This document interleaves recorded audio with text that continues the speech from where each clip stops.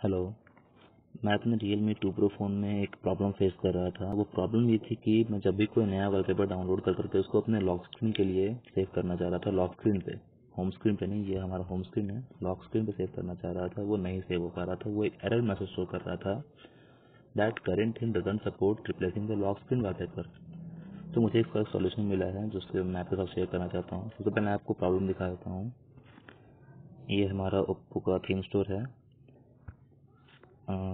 अगर आपको ज़रूरत हो, अगर आपको अच्छा लगे तो आप इसे डाउनलोड कर सकते हैं। मैं डिस्क्रिप्शन में लिंक दे दूँगा।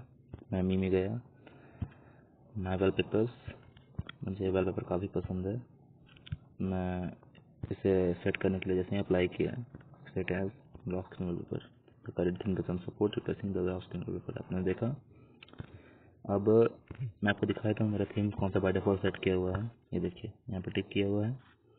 ये है S T simple O S X इसी को ओपन करूँगा। जस्ट लॉक स्क्रीन को अनटच मतलब अनएक्टिव किया और अप्लाई कर दिया।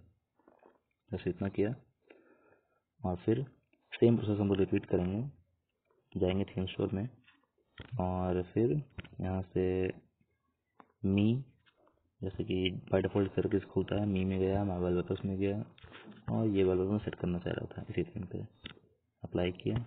सेटेड सेटेड लॉक स्क्रीन कोई एरर नहीं। ये सेट हो गया। सो आई होप कि आप लोगों को ये वीडियो कुछ हेल्प करे। That's all thank you